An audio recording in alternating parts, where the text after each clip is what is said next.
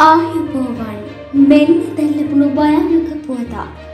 අමුණුකොළ පැලැස්ස රත්නපාරේ ඉන්දන පිරුම් හලාසල පිහිටි වාහනවලට තීන්තාලපනය කරන ගරාජයක් තුළ තිබූ යකඩ බැරලයක් හදිසියම පුපුරා ගොස් ඒ කැබැල්ලක් ගෙලහි වැදී කරාජය තුළ සිටි දහටයි වැරදි තරුණෙකු ජීවිතක්ෂයට පත්වී තිබෙනවා.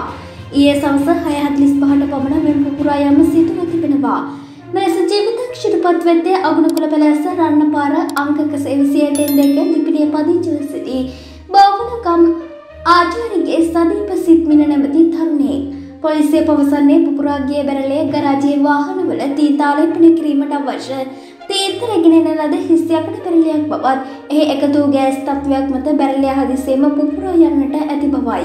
පුපුරාගේ බැරලේ පියන කොටස ගැලවී ගොස් ගෙල ප්‍රදේශ වැඩි බරපතල තුවාල ලැබූ තරුණයා අමනුකුල පැලැස්ස රෝහලට ඇතුළත් කෙරුණු බව පොලිසිය සඳහන් කළා.